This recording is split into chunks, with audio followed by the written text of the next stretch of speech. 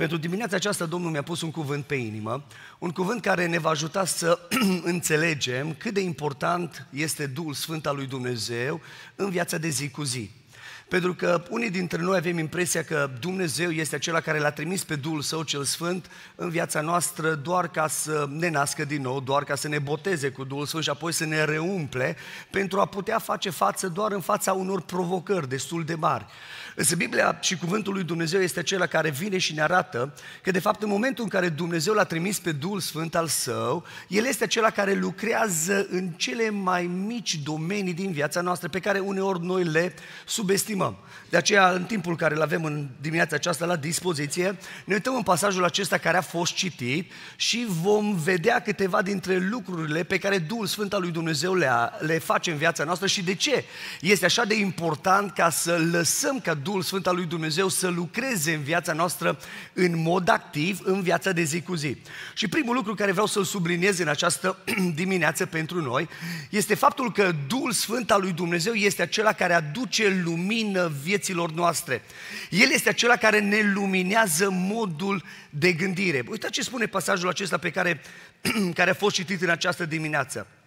Spune cuvântul Domnului că în ziua cinzecimii, vă aduceți aminte, după ce Mântuitorul Iisus Hristos s-a înălțat la cer, timp de 10 zile ucenicii au rămas în odaia de sus, unde se rugau în mod frecvent ca Dumnezeu să își împlinească făgăduința. Și în momentul când a coborât Duhul Sfânt peste cei 120 care erau în, în uh, odaia de sus, spune cuvântul lui Dumnezeu că la un moment dat mulțimea și multi... mă iertați, multitudinea oamenilor care erau în Ierusalim în vremea aceea au văzut, au auzit și de curiozitate s-au apropiat de locul acela unde erau ei. Și la un moment dat, pentru că între ei s-a făcut o divizare, Petru este cel care se ridică în picioare și începe și clarifică lucrurile vorbind despre ceea ce au început să experimenteze.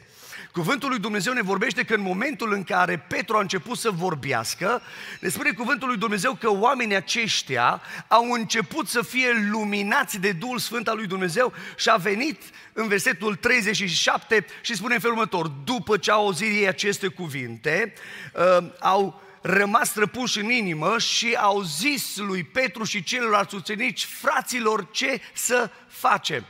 Vedeți, este interesant că în momentul în care Petru, plin de Duhul Sfânt al lui Dumnezeu, începe să vorbească, oamenii aceștia au început să înțeleagă cuvântul și au început să își dea seama că, de fapt, drumul pe care mergeau era un drum rău. Și au început să spună lui Petru și ceilalți apostoli această întrebare pe care noi, ca și slujitori, de cele mai multe ori o așteptăm să ni se pună ce trebuie să fac să mă apropie mai mult de Dumnezeu. Și apostolul Petru este acela care nu vine și le spune, mă, haideți la noi la biserică, că la noi e cel mai frumos. Haideți să vedeți numai cum e la noi, că o să vă placă de numai numai. Și apostolul Petru este acela care vine și îi duce la Domnul Isus Hristos, la jertfa Mântuitorului și le spune pașii pe care ei trebuie să-i parcurgă ca să poată să primească acea împlinire lăuntrică de care oamenii aveau nevoie. Și spune cuvântul lui Dumnezeu că Petru zice, pocăiți-vă, le-a zis Petru, și fiecare dintre voi să fie botezați în numele lui Isus pe iertarea păcatelor voastre, apoi veți primi darul Sfântului Duh. Vedeți, Duhul Sfânt al lui Dumnezeu joacă un rol așa de important în viața fiecăruia dintre noi. Pentru că El este acela care vine și ne luminează modul de gândire. El este acela care vine și ne luminează locul acela unde este de multe ori confuzie la nivelul minții noastre. Uneori nu știm ce trebuie să alegem, cum să alegem. Uneori nu știm decizia pe care trebuie să o facem. Ei, în momentul în care stăm la dispoziția lui Dumnezeu și ne rugăm, Dumnezeu este acela care ne luminează mintea și El este acela care totdeauna ne va lumina și ne va duce spre Mântuitorul Iisus Hristos. Să știți că Duhul Sfânt al lui Dumnezeu niciodată nu ne va lăsa să o luăm în altă direcție. Duhul Sfânt al lui Dumnezeu nu ne va lăsa ca să o luăm rasda. Duhul Sfânt al lui Dumnezeu niciodată nu ne va face să dăm cu capul în bară, cum spunem noi adeseori. De fiecare dată când am eșuat, nu s-a datorat faptului că Duhul Sfânt al lui Dumnezeu ne-a călăuzit și ne-a luminat, ci s-a datorat faptului că foarte mulți dintre noi am luat anumite decizii bazați pe sentimentele noastre, pe emoțiile noastre, bazați pe anumite ambiții personale și lucrul acesta, fără să ne dăm seama, ne-a descalificat și ne-a făcut să ieșuăm într-un fel sau altul. Dar de fiecare dată când l-am lăsat pe Duhul Sfânt al lui Dumnezeu să ne lumineze modul de gândire, El a fost acela care totdeauna ne-a călăuzit în voia lui Dumnezeu, pentru că Duhul Sfânt al lui Dumnezeu este acela care ne duce totdeauna spre Mântuitorul Iisus Hristos, la jertfa Mântuitorului și în momentul în care Hristos începe să lucreze în viața noastră, începem să acceptăm voia lui Dumnezeu, indiferent de domeniul vieții noastre și indiferent de locul și de domeniul unde Duhul Sfânt al lui Dumnezeu vrea să ne ajute, să ne lumineze. Doamne, ajută la lucrul acesta. Însă problema este că foarte mulți dintre noi ne uităm la Duhul Sfânt al lui Dumnezeu ca la un accesoriu pe care doar să-l avem ca să avem o vorbire în altă limbă, deși vorbirea în altă limbă este vital de importantă pentru fiecare dintre noi, că ne edifică uh, în mod personal, însă Duhul Sfânt al lui Dumnezeu este acela care vrea să lumineze toate domeniile din viața ta. Viața noastră este structurată uh, pe diferite domenii și avem domeniul acesta sentimental, domeniul emoțional, domeniul spiritual, domeniul familiar, financiar, domeniul al prietenilor, al hobby-urilor. Ei, când Duhul Sfânt al lui Dumnezeu vine în viața credinciosului, el este acela care începe să ne lumineze cu privire la fiecare domeniu, ca nu cumva să dăm faliment. Nu ați văzut în preajma dumneavoastră oameni care din punct de vedere poate financiar au excelat și sunt extraordinar de buni, dar din punct de vedere familiar sunt niște falimente.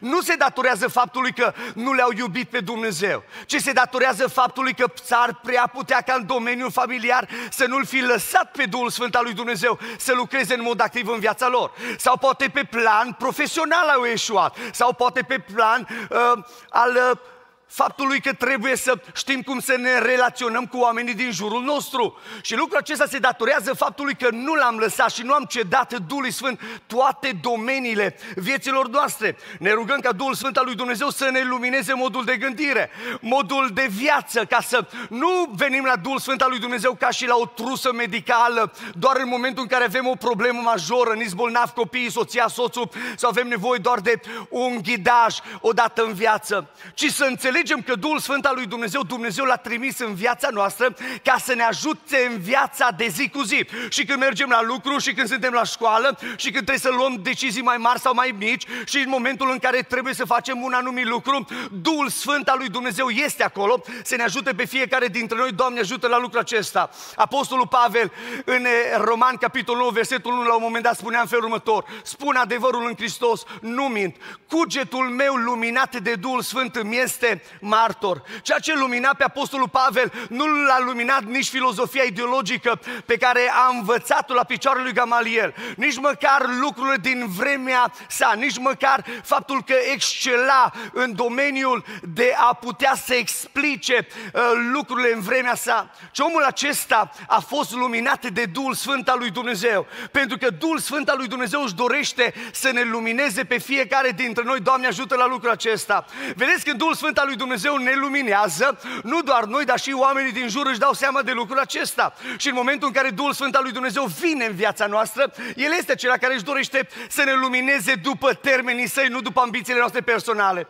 La un moment dat, într-o localitate, s-a întors la Dumnezeu un om care ăsta a fost cel mai rău din toată localitatea asta respectivă. Omul ăsta era cuțitașul satului, ăsta pe toată lumea cum îi întâlnea, cum avea un scandal pe toată lumea, toată lumea îi ducea de frică. Și la un moment dat s-a pocăit a nostru și a venit și el la biserică. Și după vreo două săptămâni, văzând care rânduiala la biserică, o vine la fratele păstor și a spus, frate pastor, acum zice, ai văzut că m-am întors la Domnul, ai văzut că toate lucrurile sunt bune, zice, hai pune-mă pe mine și pe mine, zice, să fac ceva în biserică. La care păstorul s-a uitat la el și a dat seama că nu era pregătit, o zice, mai stai puțin pe bancă. După care, după câteva săptămâni, vine din nou la păstor și zice, do frate pastor, dar acum stau de atâta vreme, zice aici, hai zice, pune-mă măcar la ușă, zice să fiu și el. S-a gândit păstorul, mă zice, dacă îl pun pe ăsta la ușă, zice, cu siguranță nu se mai intre nimeni la biserică. Pe ăsta trebuie să-l pun la ușă după ce e plină biserica, că cu siguranță nimeni nu se mai iasă afară din biserică. Nu că uneori, parcă tranzitul ăsta care îl avem în biserică, ne dăm seama că nu e cel mai potrivit de cele mai multe ori. Apostolul zis, mă zice, stai acolo liniștit, ăsta nostru s-a supărat, vă dați seama, o mai trecut câteva săptămâni și la un moment dat, într-un context al rugăciunii, cum a fost în dimineața aceasta, ci așa înflăcărat, la un moment dat când s-o slăbit rugăciunea, s-a ridicat el și a început să spună, Doamne, arată-mi cinci o supărat că ba cuțitul în el. Vă dați seama că toată lumea a început să fugă de lângă el, nu? Datorită faptului că și-a dat seama că bă, omul ăsta tot cu ambițiile lui personale și tot pe astea vrea să le promoveze. Ei, din nefericire ne dăm seama că unii dintre noi s-ar prea putea ca uneori să avem aceste ambiții personale și să nu fim luminați de Duhul Sfânt al lui Dumnezeu. Biblia ne vorbește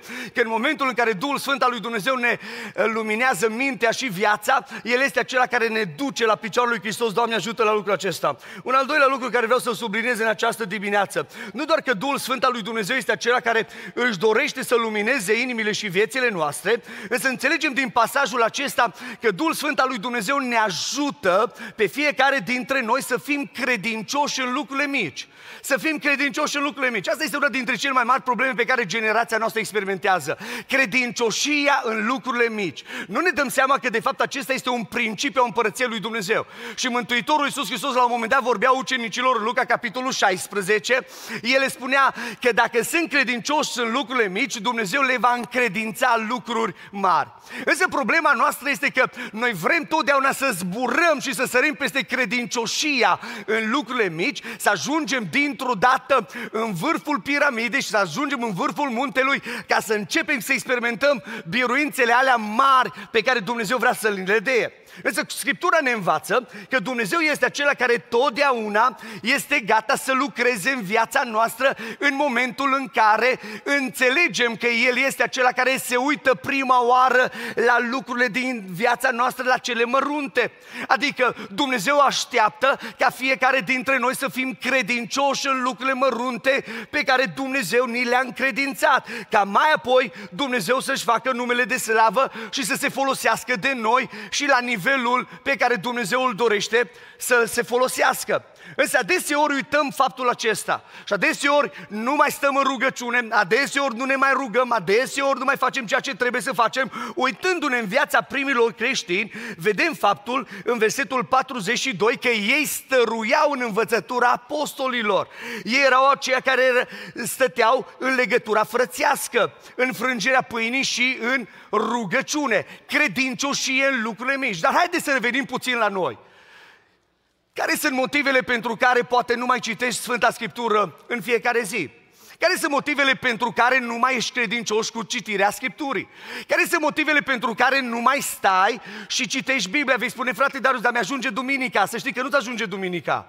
Ai nevoie în fiecare zi să citești cuvântul lui Dumnezeu. Biserica primară erau credincioși în lucrurile mici, mai apoi Dumnezeu a început să se folosească de ei prin semnele și minunile pe care Dumnezeu avea în vedere să le facă. Dar dacă noi nu învățăm credincioșie în lucrurile mici, niciodată nu să ni se încredințeze lucruri mari din mâna lui Dumnezeu. Dar dacă învățăm ce înseamnă să fim credincioși în lucrurile mici, să știți că vom putea să fim eficienți în toate domeniile vieților noastre. Doamne ajută la lucrul acesta!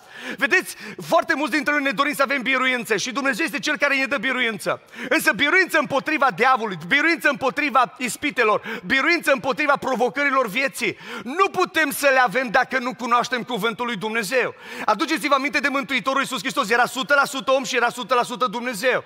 Dar Biblia ne vorbește că în momentul când a plecat de la Iordan și a fost dus de Duhul în pustiu, Biblia ne vorbește că pe fondalul unei nevoi, după ce 40 de zile a postit, a venit venit vrășmașul, a venit diavolul la el și a zis în felul următor, dacă ești Fiul lui Dumnezeu, poruncește pietrelor astora să se facă pâini. La care Domnul Iisus Hristos nu s-a folosit de autoritatea sa divină pe care o avea. Putea Hristos să-i spună, bă, satanul, dar tu știi cine eu? Păi eu sunt cel care te-am creat în urmă cu câteva mii de ani, eu te-am creat pe tine și lucrul acesta Hristos putea să-l facă cu foarte mare lejerime, datorită faptului că era un adevăr și este un adevăr. Dar Mântuitorul Iisus Hristos n-a făcut lucrul acesta, pentru că a vrut să ne arate fiecare dintre noi cât de important este faptul că trebuie să fim credincioși în lucrurile mărunte și Hristos a fost acela care a spus în felul următor, este scris, s-a folosit de cuvânt ca să poată să-l biruiască pe diavolul. N-a spus alte lucruri către el, ci s-a folosit de cuvântul lui lui Dumnezeu. Știți de ce?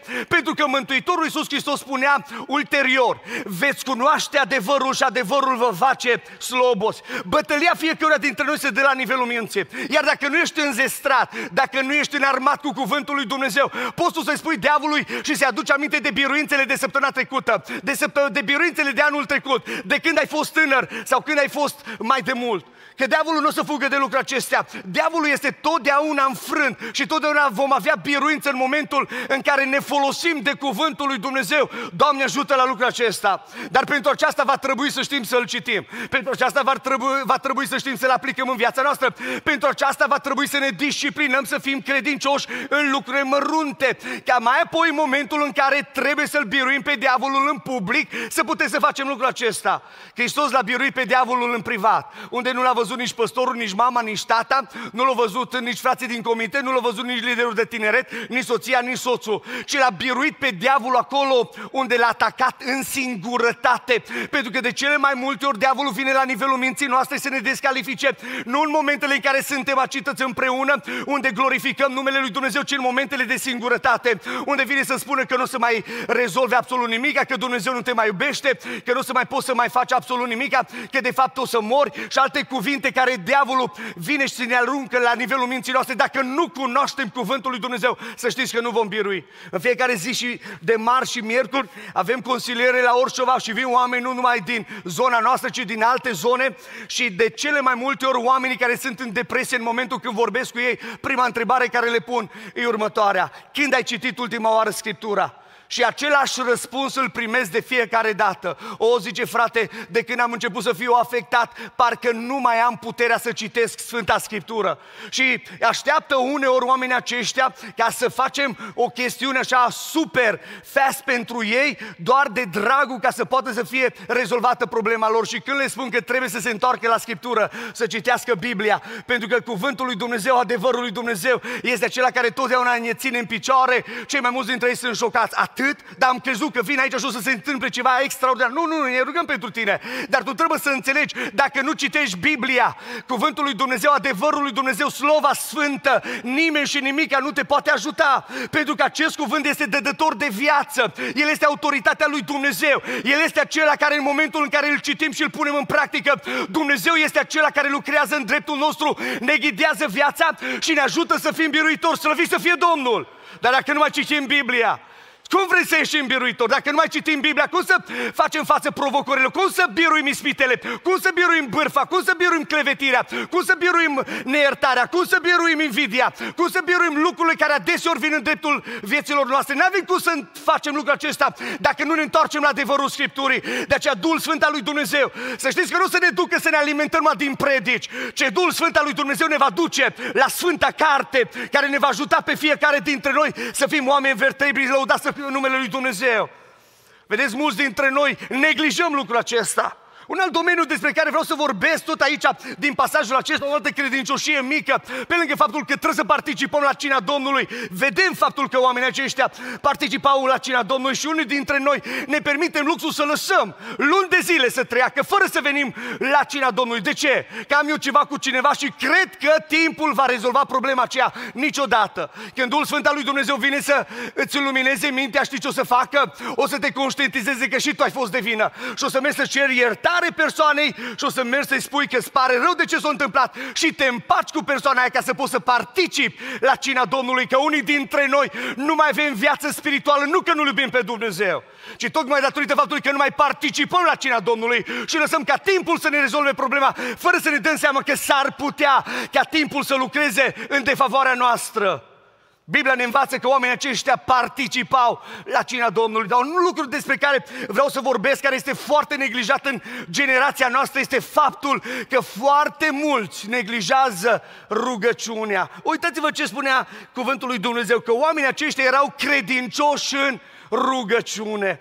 Și noi uneori ne alimentăm doar cu rugăciunea pe care o petrecem duminică dimineața și duminică seara, joi seara la biserică. Iar peste săptămână ne dăm seama că nu mai suntem așa de rugativi. Unii dintre noi nu mai ajungem marți seara la rugăciune, unii dintre noi nu mai ajungem miercuri seara la rugăciune, dar nici nu mai facem altarele care ar trebui să le facem acasă, în casa noastră. Altă dată le ridicam și astăzi, din nefericire, altarele astea sunt toate dărâmate. Nu că nu iubim pe Dumnezeu, noi și copiii noștri, ci tocmai datorită faptului că nu ne mai facem timp, că alte priorități sunt mult mai importante pentru noi și pentru viața noastră. Vedeți, când Duhul Sfânt al lui Dumnezeu vine în mintea și în viața noastră, El ne ajută să ne așezăm bine toate prioritățile și să ne rugăm. Asta este una dintre faptul că trebuie să fim credincioși în lucruri mărunte. Dar vei spune, frate Darius, da, tu nu știi, mie mi-a vorbit Dumnezeu că pe mine o să-mi dea biruință în casa mea, o să-mi dea Dumnezeu biruință în dreptul copilor, în dreptul businessului, Dumnezeu să lucreze într-un mod deosebit, slavă Domnului, vreau să spun ceva. Dacă nu o să te rogi, nu se întâmplă absolut nimica. Vei spune, frate, dai cuvântul lui Dumnezeu, așa este, cuvântul lui Dumnezeu este da și amin. Dar aduceți-vă aminte că în Scriptură ne spune cuvântul lui Dumnezeu în uh, Iacov, capitolul 5, la un moment dat Dumnezeu îi vorbește lui, de fapt Iacov face referință la ceea ce s-a întâmplat în Vechiul Testament când Dumnezeu îi vorbește lui Ilie. Și vorbește lui Ilie Dumnezeu și spune, du-te pentru că acum vreau să închid cerul. Și timp de trei ani și jumătate aproximativ n-a mai căzut nicio ploaie, ca Dumnezeu să arate poporului că nu Bal și Astartea, Astartea mitologia idolatră era mama lui Bal, nu ei erau cei care făceau legea pe pământ, ci Dumnezeu care a creat cerul și pământul slăvit să fie Domnul. Dar după trei ani și jumătate vorbește Dumnezeu din nou lui Ilie și zice, Ilie, du-te de data aceasta că vreau să deschid cerul. Ce face Ilie? Merge și se pune în fotoliu și aprinde the news channel to see when the rain is gonna come? No, no, no, no, no. He doesn't do that ce merge pe muntele Carmel și începe și se roagă. Și se roagă și își trimite slujitor. Duce să vezi, vine ploaie. Vine slujitorul la el, zice, frate Elie, îmi pare rău, dar nu vine nicio ploaie, nicio problemă, că eu știu că Dumnezeu care vorbește în cuvântul lui este scris că niciun cuvânt care este din gura lui Dumnezeu nu este lipsit de putere, slăvit să fie numele lui Dumnezeu.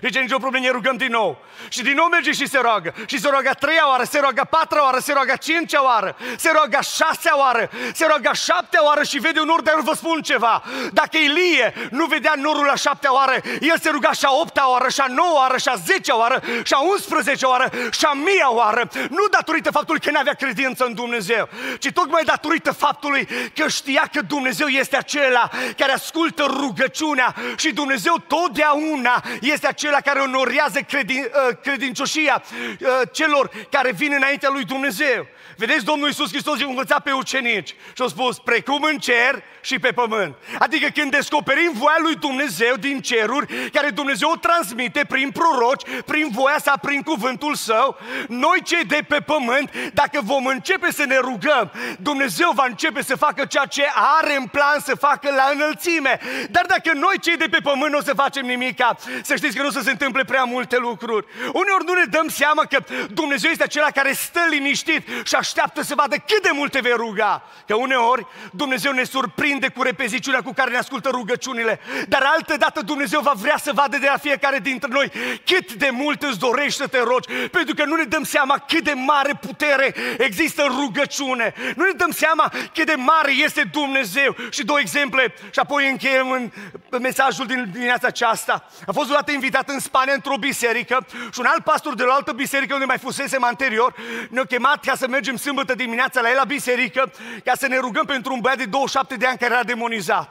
Bineînțeles că am ajuns, uh, fratele respectiv zice, frate, dar hai să mergem. Mergem, nicio problemă. Am mers, am călătorit două ore. Am ajuns acolo, era undeva sâmbătă dimineață pe la ora 10, 10 jumate, erau vreo 20 de bărbați, toată echipa de mijlocire și în mijlocul era băiatul ăla demonizat. Și când am intrat, s-au oprit frații din rugăciune și din prima, demonul din omul acela, din tânărul acela, de fapt din băiatul acela de 27 de ani zice către mine în felul următor, noi vă urâm pe voi creștinii. Dar știam lucrul ăsta că și noi urâm pe mustrăi Domnul de numai numai. Dar eu către el, dar de ce ne urâți, mă? La care demonul respectiv zice în felul următor, pentru că în momentul în care voi începe să vă rugați, la 2-3 kilometri de locul unde vă rugați, focul lui Dumnezeu cade peste noi și ne mistuie. Și am zis, mări să fie numele lui Dumnezeu, că mare putere are rugăciunea fierbinte a celui neprihănit, dar uneori de frică, de superstiție, de anumite chestii care vin la nivelul minții, dintr-o dată începem să ne retragem și nu ne mai rugăm. Fără să ne dăm seama că Biblia spune că ce Dumnezeu a pus în noi este mai mare și mai tare ca ce este în lume, lăuda să fie Domnul. Și în momentul în care perseverăm înaintea lui Dumnezeu, Dumnezeu este acela care lucrează, laudă lui în vecii vecilor. Știați lucrul ăsta pentru unii, unii n știu. După ce am ajuns la Orșova, după vreo șase luni de zile, la un moment dat au venit câteva surori care deja erau acolo și au zis către mine, frate, dar vreau să stau de vorbă cu tine și cu sora Ligia. Am mers, ne-am întâlnit cu ele și am stat de vorbă, printre care el a zis în felul următor, frate Darius, hai să spunem ceva. Noi eram cinci femei aici, nu a fost niciodată, nu exista niciodată în orice o biserică pentecostală. Și zice, eram cinci femei care ne strângeam în casa uneia dintre ele într-o cameră de uh, six feet pe 9 feet. Și zice, ne strângeam acolo și ne rugam. Primii trei ani de zile ne-am rugat în felul următor.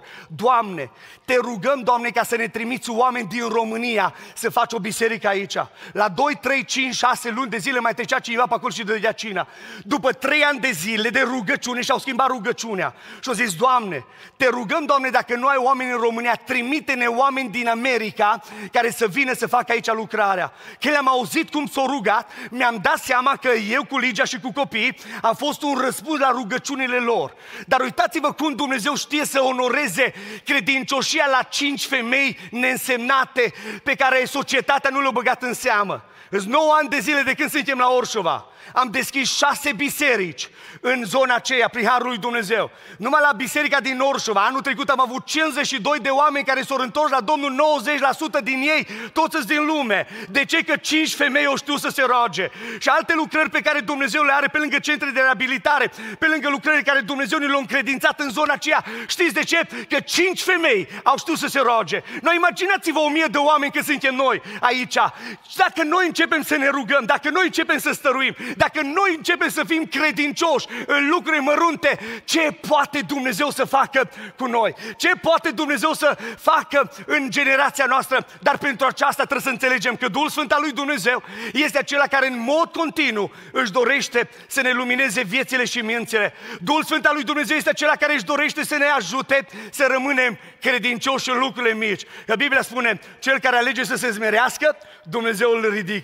Și Dumnezeu să-și facă numele de slavă în continuare și să ne binecuvinteze, să înțelegem că Duhul Sfânt al lui Dumnezeu nu este o, doar o nevoie uh, așa din când în când în viața noastră, ci este o nevoie acută în generația noastră. Ne rugăm ca Duhul Sfânt al lui Dumnezeu să-și facă numele de slavă. Amin.